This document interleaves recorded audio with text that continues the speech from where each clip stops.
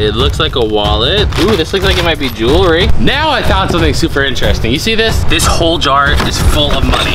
We are finally at our $1,000 11 year old storage unit that has so much dust on it. It might choke me. I don't know until we get in there, but I've been waiting so long to get into this unit. Let's open the door. Let's see what we got.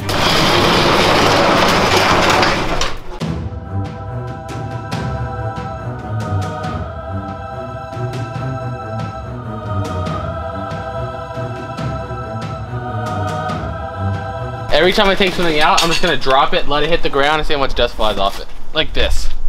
Watch this. Okay, it didn't really fly off. it's a lot of dust on there. Whatever, let's see what's in this. Start with the suitcases. Look at this though. By the way, this unit's been in there for 11 years. The owner passed away this year. They let us know, so no telling what's gonna be in here. This zipper's broken. I don't Right. think we'll be able to get in here without having to bust the whole suitcase. Look. Well, Yep, time to break it. Can opener, you're- like you are the can opener. I feel like a can opener. I'm gonna go here and go across this whole thing. This should be enough to get in there. And in here we have, what's the note say? Oh, that's an address. I'm gonna look that up. That, some clothes. What's this thing right here? Little picture frame with a penny in it. Make sure there's nothing else hidden in there. No. Wires. Ugh, old clothes. This glasses, not in there. This old phone. And this necklace here. Or is this like a wallet? I think it's more of a wallet chain, isn't it? But in that. Not seeing much else in this bag. This one's got front pockets in it, so let's check these first. Uh, let's see, never play the same game again. NFL Game Day 2004. All right. Woohoo. If they have a bunch of vintage video games in here, I'd be so happy. Oh my gosh. AOL. Welcome. You've got mail. Who remembers that? Does that bring back a weird memory in other people's heads too? Lower pocket. There's a bunch of, looks like cards or stuff in here.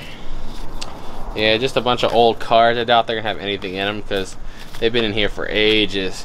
Let's see what's in the actual bag. Really? All right, I'm gonna give you my performance. No, I'm not, I don't sing. Don't expect that to come out of me. But yeah, literally, it's just one set of wires and a microphone. Who keeps that in a suitcase? That's so strange. This box has kids' clothes. Let's see if they're telling the truth. And they kind of are, but let's just do a quick reach down to the bottom. Yeah, that's kids' clothes all the way to the bottom. Next box here says tapes. What do you expect? VHS cassettes or something out of the ordinary? Cassettes are better. VHSs kind of suck. Because all you can really look for is old horror movies. This is why you check them all. Oh, there is some tapes in here, but not all tapes. Getting in trouble! Who remembers that commercial? It's kind of cringy. Then we have, look, dry wash. Your pathway to success. Okay. Let's see what these papers are when they're dated out of curiosity. 2003, so about the right time. It's actually a little older than 11 years. But that in here. Okay, these are cassettes. A lot of cassettes in here. Here's one of those like cassette holders in the back. Then we have a bunch of books or binders, a Bible here. Open it up. Always, everyone always tells me, people put money in Bibles. You know, I bought probably four or 500 storage units. I've never found as much as a dollar in a Bible. Never found anything. Hey, love never fails. Remember that. It never fails. Except I think the divorce rate in the United States is at like 40% now nowadays, but you know, it's another problem. Let's box, which box now? Big one or little white one? Big one. All right, this one's about to smack me with the dust. I see it. Ugh. Let's see. What's it say on it? Jeez. Look at the top of this. Cloth. Clothes. Look at the dust. Look how thick that is. Alright. Is it actually ugh, ugh. It's actually closed, I think. Yep, again, this one's closed all the way down. This one's kid shoes, so let's see if they have any good brands in here. I don't know, it looks like Timberland's right here. I don't know if there's a vintage market for Timbs. I know with like Jordans, people pay crazy amounts for some of the old shoes. But look at these little old Timbs right here. They're all kids. Timberlands. This another one? Yep. There's a Timberland logo right there too. So another Tim. Do we see any matches though? Here's the match of the first one. So we got one matching pair of Tims. There's the other one right there. So two pairs of Timberlands. Is that another one? No. These are oil resistant. Like these are like mechanics. They're steel toe. What they got there, like five year old working on the bottom of the car? That's a steel toe slip resistant shoe for like a five year old. Look at that. Some like baby blue looking Tims. Are these some old baby Air Forces? Look at that. And what else do we have in here? There's the other blue Tim. Some other Nikes as well. So at least they're decent name brand, but I just don't know if there's like a collector's market for old Tims like there is old Jordans, but I guess we'll find out. So when I decided to go to eBay and look to see if there was a market for vintage Timberlands, there was not one single pair of used Timberlands vintage that has sold. There are some new ones that are selling for decent prices, but even there, it's nothing. So we just went ahead and took the shoes and donated them with the rest of the kids' clothes. So I pulled this box aside because I can see a purse right through the top. So in this, is this a wallet? It looks like a wallet, but is there anything in it? Just a bunch of papers and business cards and blah, blah, blah. The stuff you expect to find in a wallet, but not hope you find. Papers and papers and papers and there's somebody's driver's license. All right, at least now I can look this person up and see their store. Let me put that over here. Here's a purse that I can see through there. There's the brand on if anyone recognizes it because obviously I'm not a purse person. Now is when things start to get interesting because I went ahead and punched that brand of purse into eBay and filtered to sold and used only, and they were all selling for hundreds, some several hundred dollars. So already I was in a good mood. Is this a purse? Open. It is a little purse. Hey, look. Brand new. They got it, who knows how long ago, for four bucks. Ooh. Joy, hey, look a Polaroid camera. This looks like one of the newer ones that were kind of meant to mimic the old style. Like, I don't think this is actually old. I feel like these are the ones we had like when I was a kid. Like, it's a Polaroid camera and made it look like the old ones, but it's really not. Old hat, Make-A-Wish Foundation. There's something else hard in here, I'm feeling. What is that? You know, watching random A YouTube bowl. videos, you kind of, like, remember we saw one guy find a bunch of hats at a yard sale that were worth so much? Yeah, you just never know. But like if you just, it's just unfortunate because if you take the time to look up every piece, like every unit it would take like two years. You just have to be like, is this pair of jeans worth this? No. Then you spend two years and you find like one hat finally it's worth 70 bucks and you're like, yes, I just exchanged two years for $70. All right, let's see what's in this box. What are these things? Mary Kay and actually private spa collection. What year do you think these were put in here? Like, do you think there's possibility that these are anything good? I seriously doubt it. I have no idea how long they've been in here. More Mary Kay. Hey look, something from the Defense Logistics. That makes it a little interesting. Here's a gift certificate. $10 worth of free products at your appointment. Yay! Alright, in here, this is just a bag of paper, and this is, what are you? Come here. What's in this thing? If it's more Mary Kay, I'm yeeting it across the storage facility. Yeah. There's a camera right there. Did I do it anyway? Yeah. Yeah. Now what am I supposed to do with it? Gosh. I'm gonna put this up on Facebook Marketplace. Yo, anyone interested in 17 year old Mary Kay products? Anybody? I don't think they will be. Before I get into this big old long box here, guys, make sure you do us a favor and leave this video a like because it helps us out a freaking ton. We need your support. Please, this is a one grand unit. Please help us out. Let me show you what's in this one because this looks cool. So look, we already know this is a mailbox right there based on its label. It has balls. So let's see if that's actually what's in there. A Oh, we have this. it is. I didn't even think about that. that looks like a satchel or whatever you call it. The brand on that is Heroes bags. It looks old, but I don't see nothing in it. You can tell by like the interior, this thing is definitely not modernly made. Definitely an old bag there, so that's maybe worth something. And this, oh, I thought this was a rifle case, but well, look at that. Looks like it's supposed to be like a pool stick or a pool cue. Is that what this is? I think that is what this is. Look at this. Come here. Oh, it is. Look at this. Hey. Hey, look at like a customized one right here. Ooh, a stealth one with the crosshair on it. Pre-owned stealth brand pool cues vary greatly from between $20 and $80 depending on the model. If this guy ends up being like a hunter or something and there's rifles in there, I'll be so happy. Because right now, look what we have, how much we've taken out versus what we've shown you. Every other box on that truck that you didn't get seen was either dusty clothes or paperwork. There's a lot of it so far. but there is, looks like at least two, maybe three or four, I think four total pool cues. This one is Champs brand, that one's Stealth brand. The other two just look generic. They're just black and white. They don't really say anything on them. But I'm guessing by balls, does it mean the pool balls are down here? Yeah, I hear them. You hear that? Yep. Let's see if they're those old ones, those nice ones. Oops. Let me put the pool cue pieces back in the bag, the box. Why do I always do it backwards? If it's a box, I say bag. If it's a bag, I say box. Definitely pool balls. Let's see which ones they are. Oh yeah, these are nice. Look at that. Everybody's favorite. When you hit this in right at like the beginning, you're just like. so a whole thing of that. Now I'm wondering, do you think the table that'd be awesome. will be in here somewhere? Because it's a giant unit. I mean, it's huge. We barely even touched it. There's a good possibility it's somewhere back there is the pool table as well. I guess we'll find out. I didn't even point out that at the beginning, look at this nice dolly. I mean, obviously it's super dusty like everything else, but overall, made in the USA, that means it's quality. So we got a good dolly. All right, so this one looks like it has glassware in it, but before I show you that, I just want to point out the fact that look at the newspaper it's wrapped in. December 3rd, 1998. So I'm thinking their estimate of 11 year old might even be kind of worse. Like, it might be worse than that. You know, I sound like so stupid today. I slept for like 45 minutes last night if I sound a little off, so give me a break. But if that's correct, and it's been in there since 1998, I mean, it's like 23 years old, so that makes it even cooler. But I know a lot of people in our comments always want to see the glass, but looks cracked, doesn't it? It looks kind of chipped, but not from the outside, is it? It's got an internal crack in it. Okay.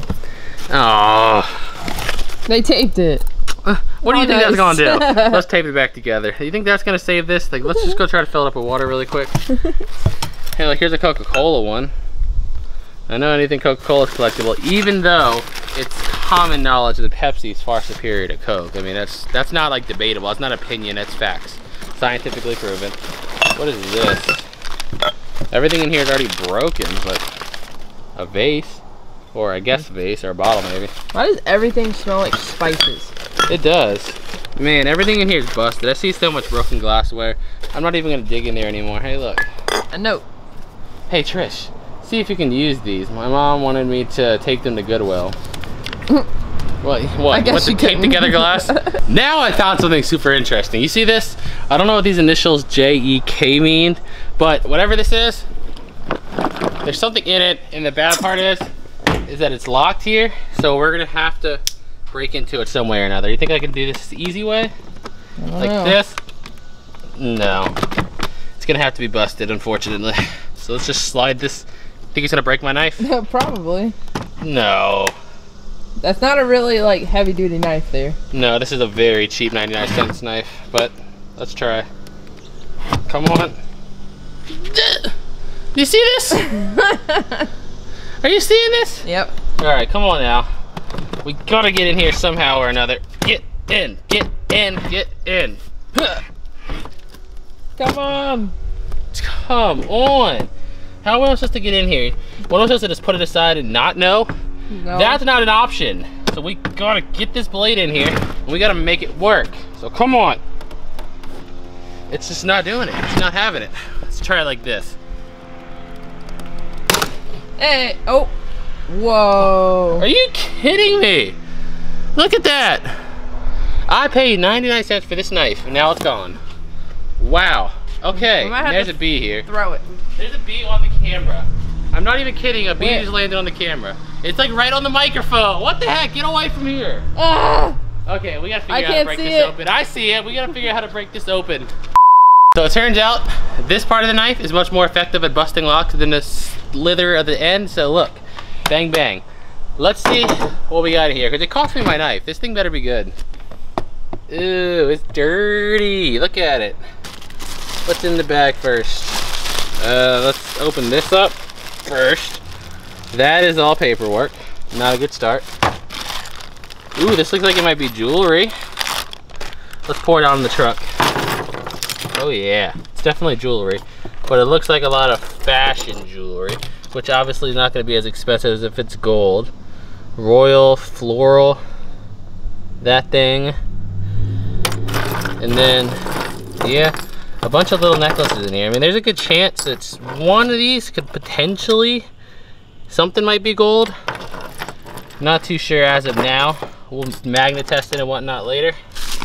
What's in here? That's shady. What is it? Come out. Uh, weaving bond. All right. Okay. That. And I'm seeing a lot of pictures. There's more stuff down here, look. A world's best dad keychain. Um, let's see. Can you see in here? Yeah. Now I can. There's this little coin. Uh, looks like a lot of more junk in here. Here's another ring right here. Looks like a weed leaf on it. um, anything in the side pocket? Oh yes, there is. The keys that probably opened it are probably right there. And yeah, other than that, I'm just seeing a bunch of crap. There's a little mini watch right here that's cheesed. It's destroyed. Just a Timex. Yeah, all the rest of whatever is in here is what we call grade A crap, unless this is something. No, yeah, grade A crap. This box, I think it says clarinet. It's like, the letters are a little like, they're going camel case between uppercase and lowercase, so it's kind of hard to read. But let's see, that's what we have in here, clarinet. That'd be cool, that's something I've never found before. Squidward storage unit, right? Yeah. Am I the only person that associates clarinets with nothing else in the face of the earth other than Squidward from SpongeBob? No. Okay, let's make sure it's not this big. That's the only thing I think of when it comes to clarinet. Where's it still stuck at? All right, let's see. With your half knife. Yeah, so the knife is a little less effective now. A seashell thing is attached to a bag. Just set that right here. What is this guy? A Great. Land fishing kit. Huh, look at that. Cool. It's definitely right here. Now let's see if that's actually in there or not. Because it could have been replaced with who knows what. It could be gold in here. Looks brand new though. Yeah, it does. Ah, it won't even open. I think you put it, yeah, push it. Okay, I'm just stupid. There you go. All right, yeah, I'm just stupid. There's the whole thing. Right new. Sweet. Nice little fishing kit. All right, lo- looks like the stuff's starting to get better as we go, which is always good. Usually the case. You know what I see? This whole jar is full of money. Look at that. Cool.